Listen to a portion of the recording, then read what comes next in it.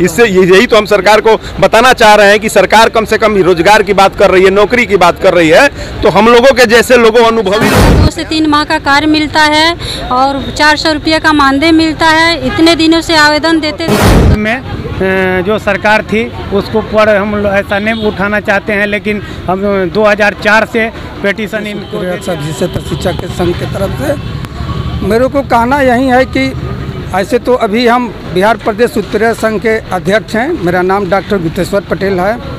पूरे बिहार में हमारी संख्या मात्र 2110 है।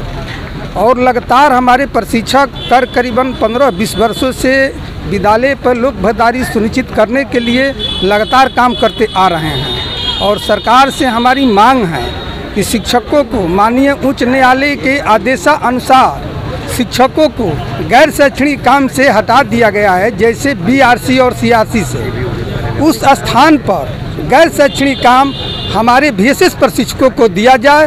बार बार हम सरकार के घर में अपना हम आवेदन देते आ रहे हैं, हम अपना विचार देते आ रहे हैं।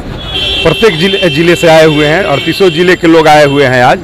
शिक्षा विभाग से जुड़ा हुआ बिहार शिक्षा परियोजना के हम लोग जिला स्तर पर प्रशिक्षक हैं, विद्यालय शिक्षा समिति के। और विगत 20 वर्षों से इसमें हम लोग लगे हुए हैं। और गैर शैक्षणिक कार्य जितना भी है शिक्षा विभाग का, वो सारा काम धरातल पर गैर शैक्षणिक कार्य करते हैं। यहाँ तक कि विद्यालय शिक्षा समिति को ट्रेनिंग देने हैं। जो भी और तरह की भी गतिविधियाँ होती है जो नॉन टीचिंग वर्क होता है वो काम करते हैं। लेकिन हम लोग अपने नियमितकरण के लिए हम लोग डिप्टी सीएम को अपना आवेदन देने के लिए आए हुए हैं। और पूर्व में दिए भी हैं जब विरोधी दल के नेता थे उस समय भी आवेदन दिए थे। और अभी जब डिप्टी सीएम बन गए हैं फिर आवेदन दिए हैं कि हम लोगों के ऊपर ध्यान दिया जाए।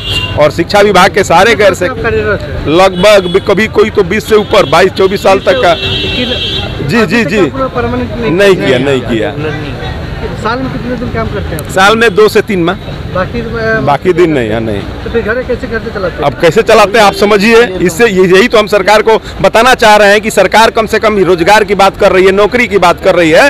तो हम लोगों के जैसे लोगों अनुभवी लोगों पर ध्यान दे कि शिक्षा विभाग में जो शिक्षकों को रखकर गैर शैक्षणिक कार्य कराया जा रहा है उसको जो हाई, सुप्रीम कोर्ट का डिसीज़न है कि एक भी शिक्षक किसी भी गैर शैक्षणिक कार्य में नहीं रहेंगे तो उनको इस पद से हटाकर अन्य, को हम लोगों से भरा जाए, अनुभवी लोगों से। हम लोग का यही डिमांड है। सारण छपरा से आए हुए हैं। बिहार भी एस एस उत्प्रेरक का हम लोग काम करते हैं, गैर शैक्षणिक जो भी होता है, और साल में हम लोगों को दो से तीन माह काम मिलता है और बाकी बीच बैठा के रखा जाता है।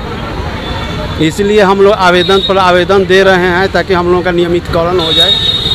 और कहाँ से हैं पश्चिमी चंपारण बेतिया से आए हैं। बेटिया से आए हैं? जी, हम भी- सामान मिला? जी हम लोग उत्प्रेरक हैं और यहाँ तक है कि हाँ साल का दो से तीन माह का कार्य मिलता है और चार सौ रुपये का मानदेय मिलता है। इतने दिनों से आवेदन देते देते हम लोग थक गए लेकिन अभी ये इनका सरकार जब हुआ है तो हम लोग का उमंग भी आया है कि रोज़गार देने का बात कर रहे हैं। तो आज हो सकता है कि हम लोग को भी रोज़गार मिलेगी और हमारे घर की भी परिवार अच्छे से जिएगी चलेगी। क्या उम्मीद है?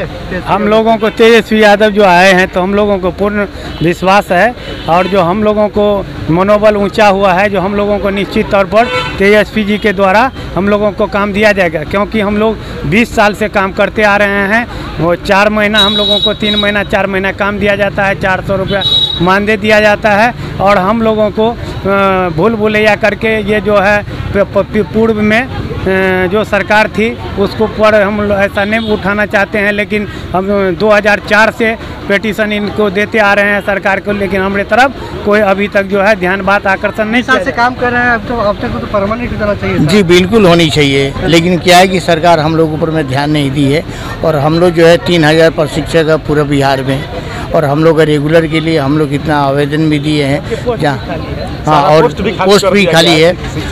लेकिन हम लोग को पूरी उम्मीद है इस सरकार से कि हम हम लोग जो कार्य है ये सरकार पूरा करेगी। हम लोग हम लोग अपील किए हैं। विद्यालयों में सीट खाली है। जी विद्यालय। जी हाँ। ये जो गैर शैक्षणिक कार्य शिक्षकों से लिया जा रहा है हम लोगों का कहना है कि हम सक्षम हैं तो फिर हमसे ये कार्य क्यों नहीं लिया जा रहा है? सारे पूरे प्रदेश में करीब इक्कीस सौ दस हमारे जैसे प्रशिक्षक कार्यरत हैं। लेकिन बस दो या तीन महीने कार्य करा करके फिर हम लोगों को बैठा दिया जाता है। मात्र 400-500 रुपया प्रतिदिन के मानदेय पर। तो तेजस्वी यादव से हम लोगों को बहुत उम्मीद है, चूँकि इनका वादा भी रहा है कि 10 लाख हम नियमित रोज़गार नियमित करेंगे और रोज़गार भी 10 लाख पहले ही कलम से बोले थे कि दस लाख रोज़गार देंगे क्या उम्मीद है? जी तेजस्वी यादव जब से सीएम बने हैं तो आशा की किरण जगी है। क्योंकि विगत हम लोग 20 वर्षों से ये कार्य करते आ रहे हैं, लेकिन सरकार आश्वासन देते रही है कि आप लोग को नियमित कर दिया जाएगा। लेकिन नहीं कि, क्योंकि मैं उंगली नहीं उठाना चाहता हूँ, लेकिन बहुत सारे कागजात देने के बावजूद भी ऐसा नहीं हुआ। लेकिन आज ये लगता है कि ये कार्य करेंगे चूँकि ये कहते हैं कि हम 10 लाख रोज़गार देंगे और 10 लाख को नौकरी देंगे।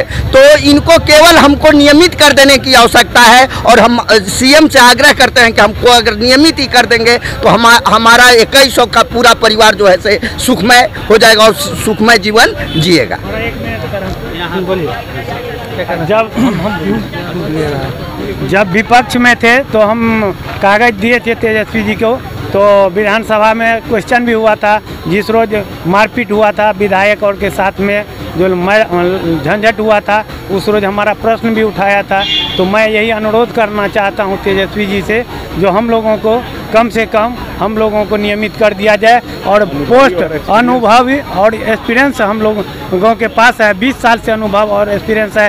गैर शैक्षणिक काम हम लोग करते आ रहे हैं। इसलिए हम चाहते हैं तेजस्वी जी से पूरा उम्मीद है जो हम लोगों को काम हमारे ऊपर ध्यान दिया जाए और हम लोगों को इसमें काम करते करते बाल कितने को पक गए, कितने को ये हो गया, आज होगा नौकरी, कल होगा नौकरी, उम्मीद लगाए बैठे हुए हैं। लेकिन तेजस्वी जी के माध्यम से हम लोगों को आशा का किरण जगह है जो हम लोगों को काम कहीं ना कहीं हो जाएगा।